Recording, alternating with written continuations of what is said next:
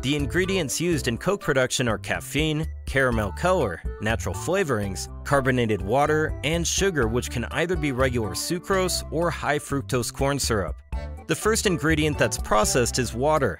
Coca-Cola factories are located in areas with access to a steady natural water supply, or springs for example.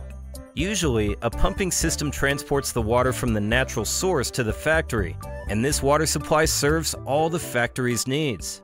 When the water gets to the factory, it's passed via the pumping system to the water purification plant.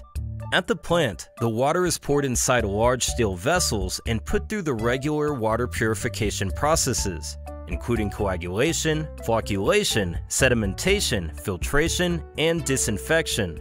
In simpler words, the water is treated with special kinds of salts, which cause all the dirt and particles in the water to clump together and form big particles. Next, the water is allowed to rest so that these particles can settle at the bottom of these vessels.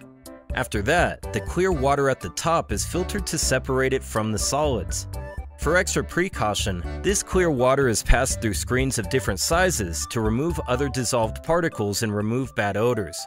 Finally, the filtered water is treated with chemical disinfectants like chlorine to kill any remaining germs and parasites like bacteria and viruses. At this point, the water is as pure as humanly possible and ready to move on to the next stage of production. When the water is being purified, other ingredients are also being prepared, and one of the most important ones is caffeine. Initially, the caffeine used by Coca-Cola Company was extracted from plants. However, because of the increase in demand and lower cost of production, the company now uses synthetic caffeine. This is made using an unpleasant gas called ammonia, but first, it is detoxified. So don't worry, the purified ammonia is then passed through several chemical processes, which yield about five other compounds before finally producing the desired product, caffeine. This synthetic caffeine is tested and purified before it is sent to the mixing room, where it combines with other ingredients. The next ingredient is sugar, which can be gotten from one of two alternatives. First is sucrose, which is extracted from the root of a plant called sugar beet. Sounds like a great DJ name. Due to the company's high use of sugar beets, they have several farms on which this plant is grown and harvested as often as they have use for them. The other alternative is fructose, which is obtained from high fructose corn syrup. For Diet Coke or Zero Coke, neither one of these is used, but instead, artificial sweeteners like saccharin and aspartame are. The next ingredient that is prepared is the caramel coloring, which gives Coke drinks their brown color.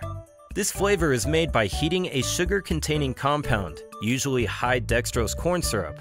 The syrup is heated until the sugar content caramelizes and the distinct brown syrup is formed.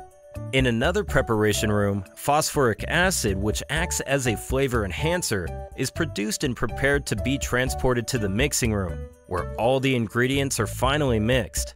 Next, all the ingredients are transported to the mixing room through specific pumping systems. The mixing process takes place in a machine called the syrup maker because, at the end of this process, the mixture formed is called the syrup, which is the base of the Coca-Cola drink. The mixing happens in an orderly fashion, starting with the purified water and then the sugar. This is mixed first for a few seconds before other ingredients are added to the appropriate concentrations. All the ingredients dissolve in the water without forming any lumps since they are all polar. And the final batch of ingredients added is the natural flavorings. The exact formula for the flavorings added has been a secret since the beginning of the company, but in recent years, some of the flavors have been announced to the public. Some of them include citric acid, lime juice, a few drops of cinnamon, orange, lemon, nutmeg oils, and a bunch of others. However, not all the ingredients were disclosed, and their measurements were not made public for those that were.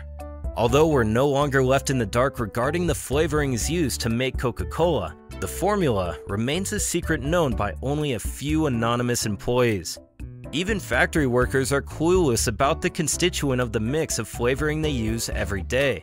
Once the mixing process is over, the mixture is transported to a machine that saturates it with carbon dioxide gas. The machine used is called a carbonator, and it pumps in the gas at high and low pressures to allow it to dissolve in the mixture. Carbon dioxide is what gives Coke its renowned fizziness, and at this point, the production of the drink is complete, and all that's left is filling the bottles. Next, the Coke liquid is pumped to a dispensing machine which portions specific quantities of the drink into clean plastic bottles. Prior to this moment, the bottles are checked for leakages and stacked on filling machines. Before filling, the machine flips these bottles upside down and flushes them with clean water at high pressure. The orientation of these bottles allows them to easily drain, and after about a minute, they are returned to the right orientation. Once the bottles have been cleaned, the filling machine dispenses the Coke mixture in calculated quantities into the bottles, while another machine fastens the bottle caps.